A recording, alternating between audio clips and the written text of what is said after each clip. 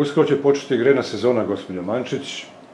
Potrebna su likvidna sredstva, građani u odgovarajućem procentu izmiruju svoje obaveze, ali ima i onih koji nisu, iz bilo kojih razloga da ne ulazimo u to, u mogućnosti da plate ili ne plaćaju, pa je nadzorni odbor vašeg preduzeća doneo odluku da se pristupi poravnanju. Šta podrazumeva ovo poravnanje? Ovo poravnanje podrazumeva da omogućimo našim korisnicima usluga da na više rata izmire svoje zaostale obaveze i tako izbegnemo sve one posledice i po njih i po nas. Sudska utuženje, tako, tako je sve to. Tako je. E sada, ono što je važno, treba reći, ranije je u skladu sa odlukom ministarstva, resornog ministarstva, bila odluka da se potpiše reprogram duga. Poravnanje i reprogram nisu jedno te iste. Tako je.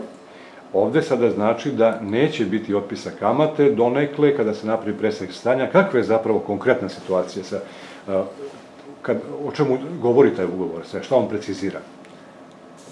Tačnije, on je uliki dug, koliki će biti do datuma sklapanja ovog našeg dogovora, da tako kažem, moći će da se dug reprogramira na određeni broj rata, kamata se ovoga puta neće otpisivati. E, što znači da ukoliko naši sugrađani, odnosno korisnici, ranije sklope sporazum sa nama o ovom poravnanju, imaće mogućnost da i e, čitav iznos koji treba da reprogramiraju bude niži. Da, da li to znači da će kamata biti obračunata samo do onog trenutka do potpisivanja ugovora, a kasnije ne? Tako je, upravo tako, kao što ste rekli. Koje kategorije e, vaših korisnika će biti obuhvaćene s obzirom na visinu duga e, ovim poravnanjima?